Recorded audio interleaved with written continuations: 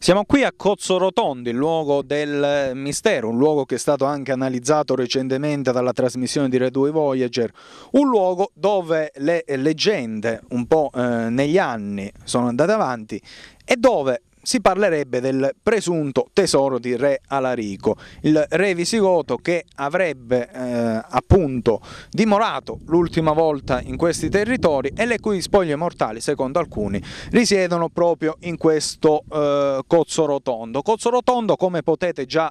vedere, è un eh, montarozzo di natura antropica, cioè modificata dall'uomo, come si può vedere nella sua massima sommità, dove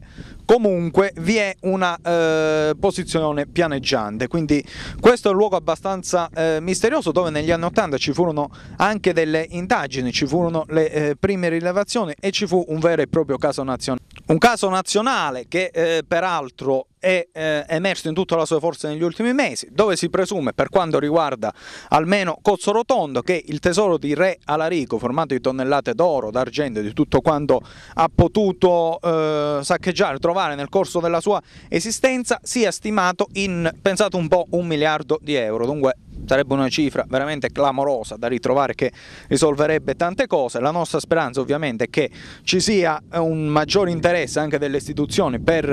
rivalutare questo luogo storico e per chiarire anche qualche mistero. Con questo vi rimandiamo la linea.